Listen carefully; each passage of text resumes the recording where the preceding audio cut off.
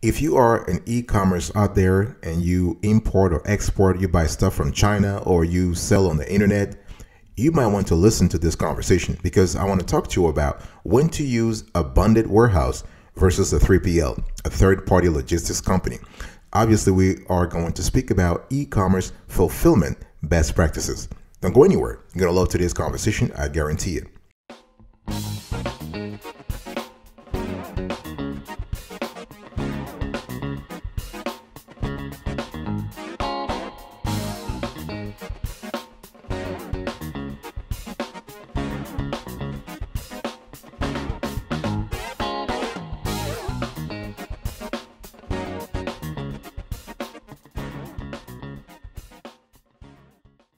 Welcome back, folks, to another edition of the Awesome S'witty Kiwi Show. How are you today? I hope you are doing fantastic. I'm doing marvelous, if you are to ask me.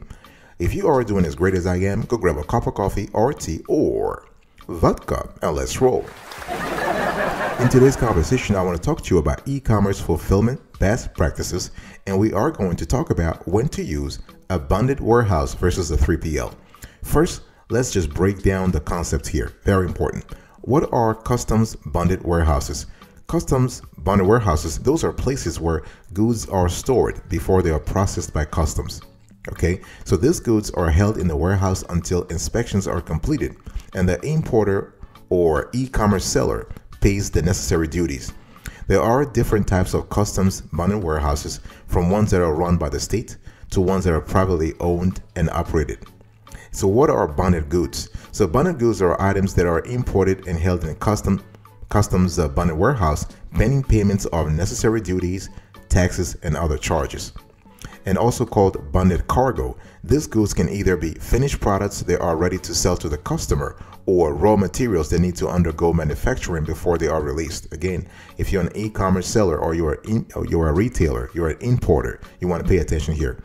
And so who basically operates bonded warehouses? I've said this before, they can be either state-run or run by private private parties okay and when you have uh, private parties running the custom customs uh, bonded warehouses you need to understand that they need to go through a vetting process okay so how do you get your warehouse bonded you must submit a written application to the local CBP director. So your application must include information about the premises, location, and other details. It should also be accompanied by other necessary permissions and documents. Okay, so this is really important. And so, what's really the difference between bonded and non bonded warehouses? With non bonded warehouses, importers need to ensure that all due taxes are paid and inspections are completed immediately. With goods stored in bonded warehouses, duties and taxes can be deferred until the goods have been purchased. Big decision time. If you're interested in uh, learning more about uh, this topic, you might want to check out some of the videos that we did on the topic, including Amazon FBA versus ShipBob versus ShipHero and Red Stag Fulfillment. We have Ordoro versus ShipStation, Shipping Easy, and Endicia. We have ShipStation, Shippo, EasyShip, PariShip, and Sendle. And we also compared shipping to, we also did a, a great, uh, an in-depth review of shipping to Amazon FBA.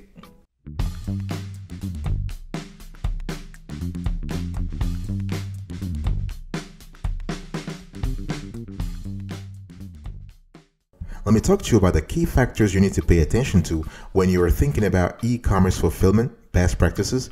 So, searching for a top level 3PL warehouse entails many aspects that are sometimes impossible to deal with without professional assistance. And if you don't have professional assistance or guidance or any kind of guidance, it's better that you start doing it now. So, there are three things you want to pay attention to. You want to pay attention to an insured warehouse a bonded warehouse, and a free trade zone warehouses. Why? Those concepts those concepts will pay will actually play a key role when you start thinking about bonded warehousing or you start thinking about buying from China, buying from overseas, whether you're an e-commerce seller or you are just a retailer, those elements will play a big role. What is an insured warehouse? An insured warehouse basically means that the warehouse has insurance. Okay, that's what it is.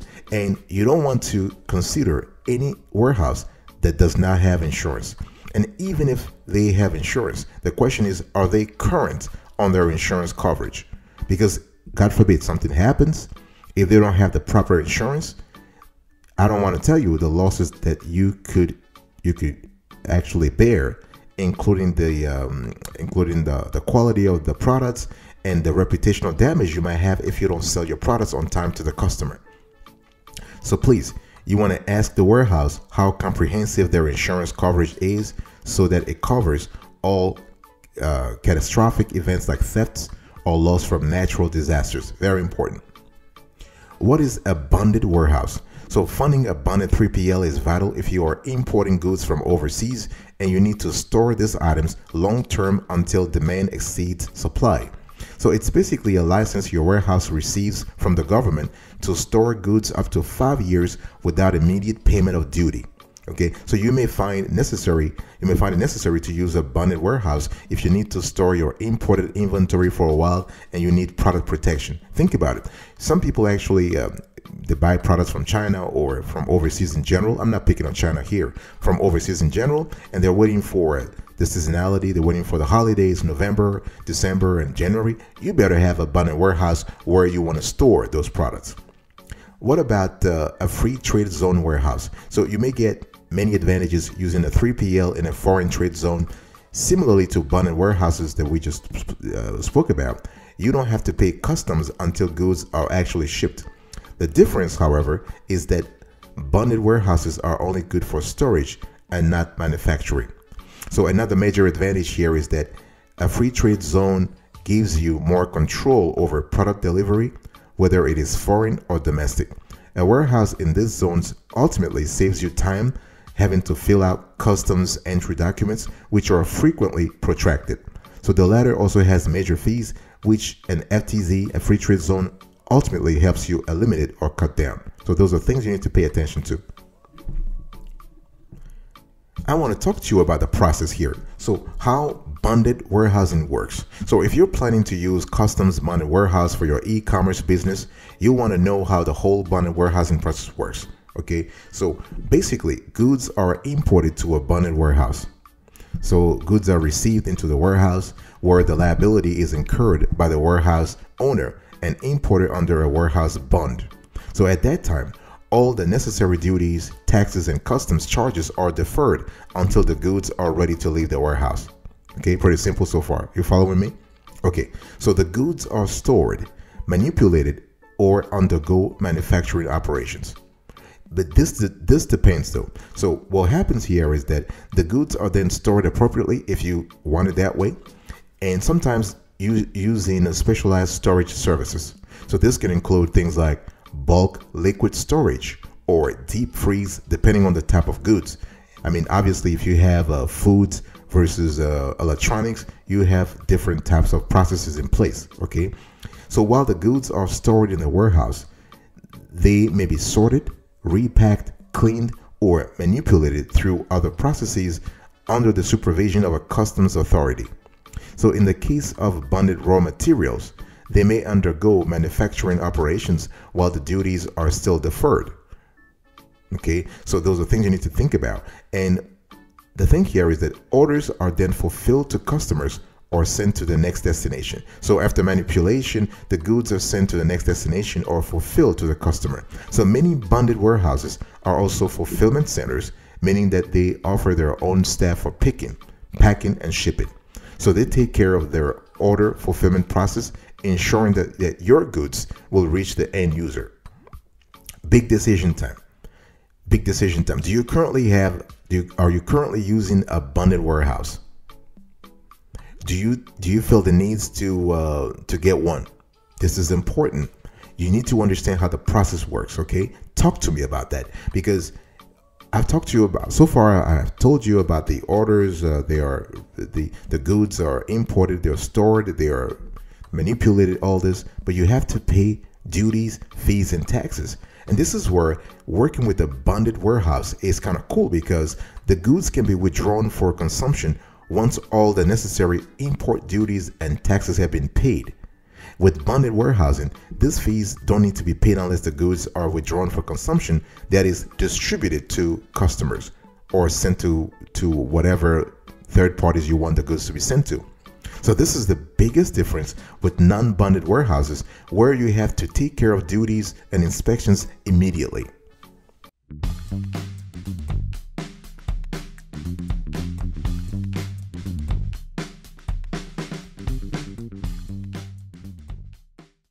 Let's continue the conversation about bonded logistics, folks. This is an important element that you need to think about. So, why do companies, why do e commerce sellers, why do retailers, why do importers use bonded warehousing? They may choose to use bonded warehousing for a number of reasons. First of all, importing large quantities of goods from foreign countries is expensive right? So when you when you're importing a large number of goods from uh, from overseas, the cost can be considerable with added duties and taxes on top of the cost of goods and transport. Don't forget that transport. So instead of paying instead of paying all all of those costs at once, bonded warehouses give retailers the flexibility to control when they pay by releasing the inventory as desired. So this significantly reduces the cost to import large quantities of good for your e-commerce business. And uh, utilize another benefit is that utilizing local fulfillment and shipping vendors for international commerce is kind of cool. Okay, many brands find this attractive because they can store goods in foreign countries in different bonded warehouses and not pay import duties until a product is purchased and shipped out from the warehouse. So, this simplifies international e commerce selling as you don't have to worry separately about import, storage, and fulfillment. You may use also a bonded warehouse for if you have uh, long-term storage solutions. This is kind of good also because the duration of time goods can be stored is beneficial. In the United States, bonded warehouses can store items for up to five years without paying duties. So this addresses your long-term warehousing needs while minimizing the need for travel. Okay. You can also uh, store restricted goods. So a bonded warehouse is often the best solution for storing restricted goods such as alcoholic beverages, animal byproducts, and certain food products. With the extra legal requirements and paperwork involved, importing restricted goods can be complicated. So to add to the complication, there is a strict time frame that is typically given for storing restricted goods before the paperwork is sorted. And custom customs bonded warehouses are exempt from this deadline, giving retailers more time to sort out the necessary paperwork and permits. Okay, you can also use uh, one advantage that we have found also is that with uh, customs bonded warehouses, you can keep costs low when selling internationally. Okay, and you can use bonded warehousing services with fulfillment capabilities. This is really good because some bonded warehouses come with fulfillment capabilities, meaning that they offer their own staff for picking, packing, and shipping. This can be convenient, especially if you have an e commerce business and you want to sell internationally. This is really good. However, their fulfillment service tends to be slow and basic and may not live up to the standards you have already set for your business. And you can also shop around, always shop around for the best shipping carrier rates. And you can outsource fulfillment to a 3PL with global fulfillment centers. Think about that. I'll be right back right after this. Don't go anywhere.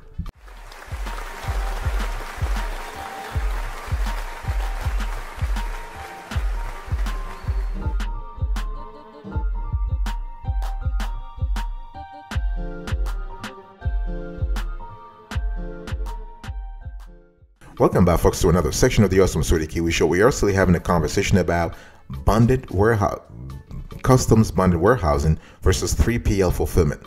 So, in the first part of today's show, I've spoken to you about the customs bonded warehousing, right?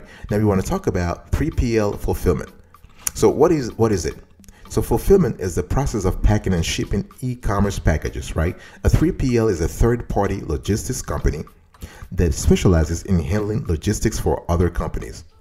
Okay, however, 3PL fulfillment involves much more than packing and shipping orders.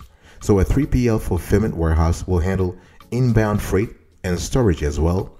And many e-commerce fulfillment companies provide extra services like kitting, returns processing, or inventory management. And there are many other words used to describe fulfillment warehouses. So you have 3PL, logistics, e-commerce fulfillment, fulfillment centers, product fulfillment, and order fulfillment, to name a few. So, what are the types of warehouses that you need to uh, you need to be aware of? You have a private warehouse. This is owned and operated by a company that uses the space for its product storage. So some private warehouses are, are also fulfillment centers that serve just, just one client. You know, for example, if you take a large retailer like, uh, let's say, Walmart or Target, they may own and operate private fulfillment warehouses. You also have a public warehouse. So this actually uh, rents space to businesses and, and, uh, and individuals, and government entities often own and operate public warehouses, and companies most commonly turn to public warehouses for extra storage capacity, and they don't rent the space long term. You can have a bonded warehouse that I've already explained. And when we talk about a distribution center versus 3PL warehouse, you have to understand that there is some kind of dichotomy here. A distribution center is a warehouse that redistributes products often for large retail or grocery chain stores. And deliveries coming from wholesalers, and then the distribution center divides them up to send to individual stores. So a truck might come into the grocery distribution center filled with just tomatoes or eggs or cereal. And trucks then leave the center carrying smaller amounts of a variety of foods headed for specific grocery stores. Okay, so while a 3PL warehouse might seem Similar to a distribution center, there are several differences. 3PLs provides fulfillment services for many different clients. So distribution centers usually process goods for just one company. Fulfillment warehouses are part of the e-commerce industry. Distribution centers most often serve brick and mortar retail stores. And third-party logistics warehouses occupy a different spot in the supply chain from distribution centers a 3PL will receive goods from a supplier or wholesaler, process online orders, and ship products directly to the, to the end customer. A distribution center will receive products from suppliers and ship them to stores, thus remaining within the wholesale space. And distribution centers never deal with individual customers.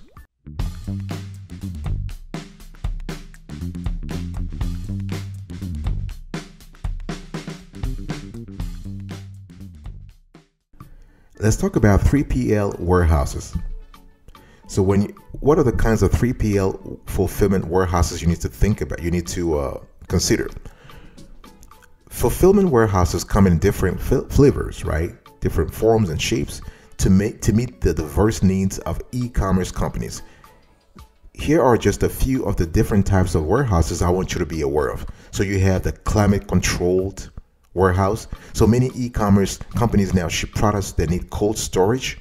So climate control might mean anything from keeping the temperature at a consistently cool cool temperature, yeah, to refrigeration or freezers.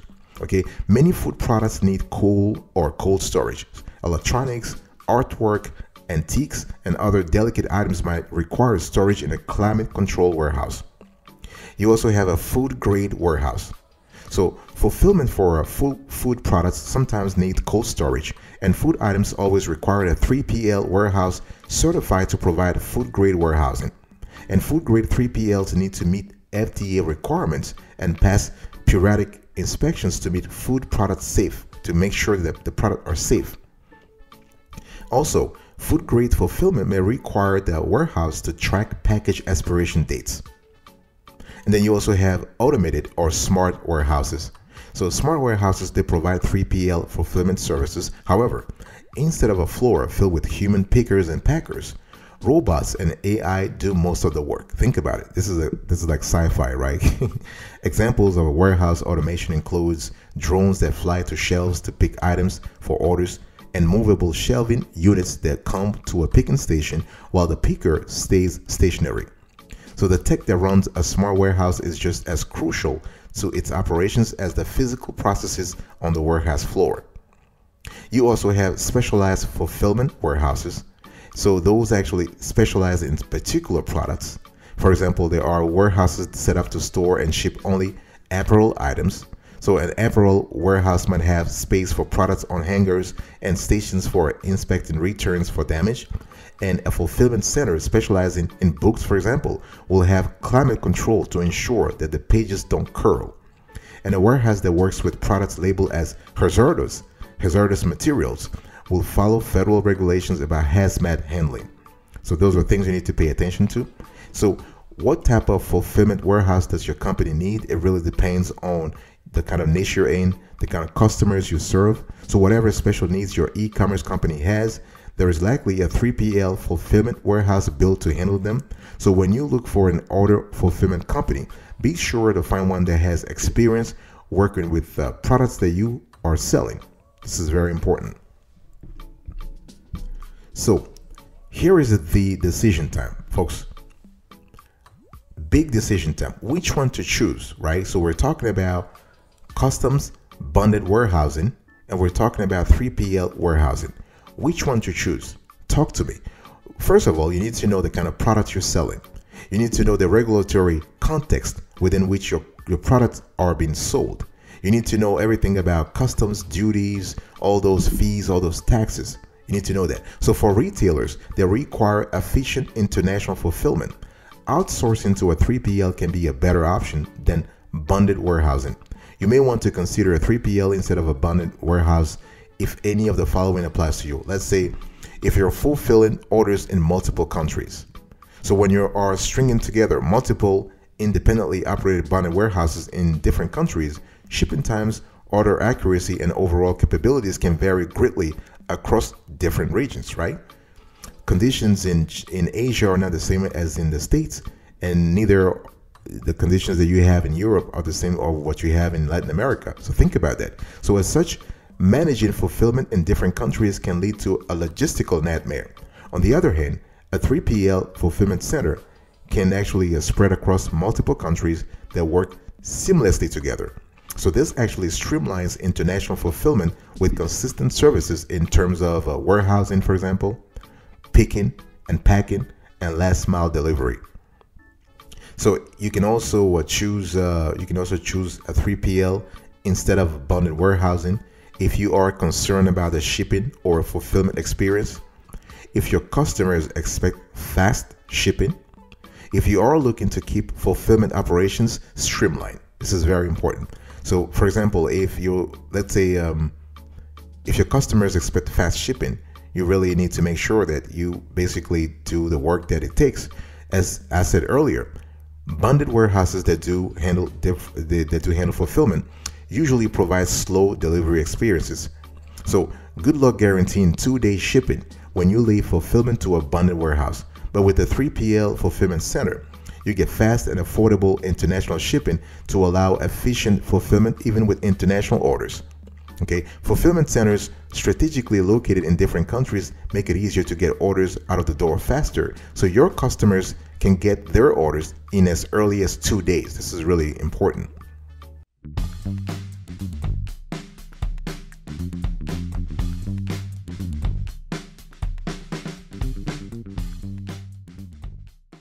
All right, folks, this is it for today's conversation. We were having a, a very uh, passionate conversation about uh, e commerce fulfillment best practices and when do you use a bonded warehouse versus a 3PL. Thank you so much for your attention. I'll speak to you another time, but until then, remember, stay marvelous.